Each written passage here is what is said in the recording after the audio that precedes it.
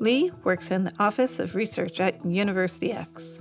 The Vice Chancellor of Research wants to understand their current placement in the rankings and turns to Lee to investigate. She wants him to both analyze what are the key contributors to university rankings and develop a plan to help the university be shown in its best light. To tackle this project, Lee first needs some background information about rankings so he can determine which rankings to prioritize. With over 20 global university ranking reports or organizations alone, and each with its own methodology, data sources, and set of indicators, Lee needs to zero in on which align best with his university's focus and priorities. He decides to focus on THE and QS World University rankings. They are both prominent ranking organizations and internationally known. Lee also knows they both use Scopus as a data source. As University X subscribes to Scopus, Lee sees this as an advantage, his way to get a better understanding of the data behind the two ranking reports. To help him focus on which data and information to investigate, Lee puts together a list of key considerations and parameters he needs to know about the methodologies. He then goes to Scopus and searches for University X. Lee finds the university's affiliation profile page and scans through it, getting an overview of the research and researchers affiliated with University X.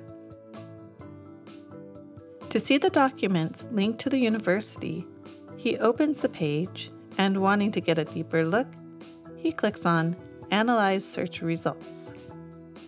He notices the different ways he can look at the data and also sees that he can specify by date range. This can help him filter the results by the same or similar parameters that THE and QS follow. He returns to the affiliation profile and opens the affiliation hierarchy. This shows him how the affiliations are mapped to the university along with their associated research. Lee is impressed with both the level of granularity and the organization in the mapping. This is also one reason ranking organizations choose Scopus for the quality and structured data it provides. Scopus achieves this in its organizational profiles through a combination of a state of the art system that automatically tags and links author affiliations, a high quality, manually curated organization database, and by incorporating feedback from universities themselves through the Institution Profile Wizard or IPW. For Lee, the affiliation looks close to perfect although he sees a few changes to make. To do this, Lee uses the Scopus Institution Profile Wizard. As an authorized user with knowledge of the institution, he can manually review alternate names and make sure profiles are correct, complete, and organized appropriately. The ability to validate and work with the Scopus team reassures Lee about the data behind the rankings. As he gets further along, Lee decides to put together a small group from across the university. He presents his findings to the group to bring a common understanding about the university's research output and what is currently being counted.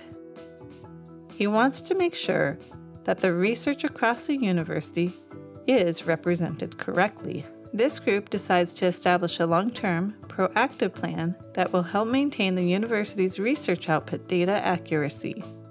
This includes working with researchers to make sure profiles are accurately and correctly affiliated with the university. For example, having researchers regularly review their author profiles in Scopus and use the Profile Wizard to submit corrections as needed.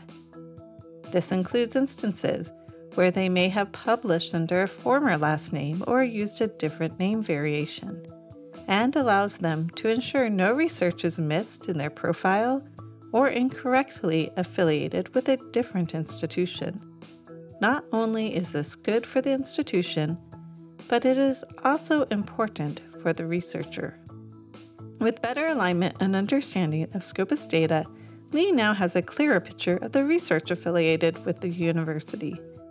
Lee now decides to take his work a step further, digging deeper into how the university is doing in collaboration and what research areas are of particular strength for the university or ripe for opportunity.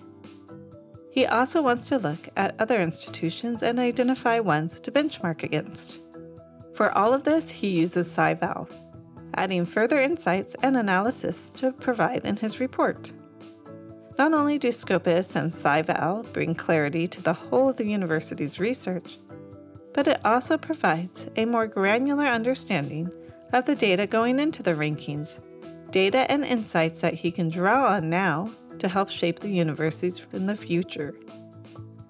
Now, when the next ranking reports are announced, Lee is not surprised by where the university is placed, and neither is the Vice Chancellor of Research the quality of Scopus data, the power of SciVal Analytics, working together to inform strategic decisions and provide insightful views into research across the globe.